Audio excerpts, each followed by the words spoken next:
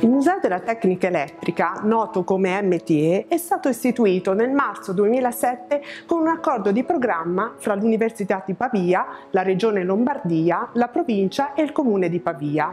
Il museo espone circa 300 oggetti della collezione Sirti, Enel e dell'Università che consentono al visitatore di ripercorrere la storia della luce dalla scoperta dell'energia elettrica al suo sfruttamento in campo industriale e domestico.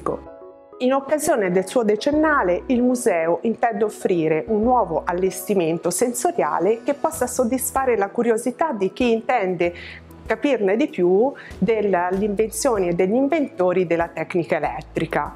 In particolare il museo cercherà di portare a compimento il progetto eh, che ha preso avvio nel 2016 con la creazione di una mappa tattile con il contributo della Regione Lombardia e in collaborazione con il Dipartimento di Ingegneria Civile e Architettura dell'Università di Pavia. Eh, per creare questa, eh, questa, mappa abbiamo usato una tecnologia di stampa 3D FDM a disposizione del nostro laboratorio 3D Auturno IPV. In particolare per la creazione della mappa abbiamo usato tre diversi tipi di ABS e grazie a questi materiali eh, siamo riusciti ad arrivare a un prodotto che secondo noi ha un ottimo livello di qualità qualità.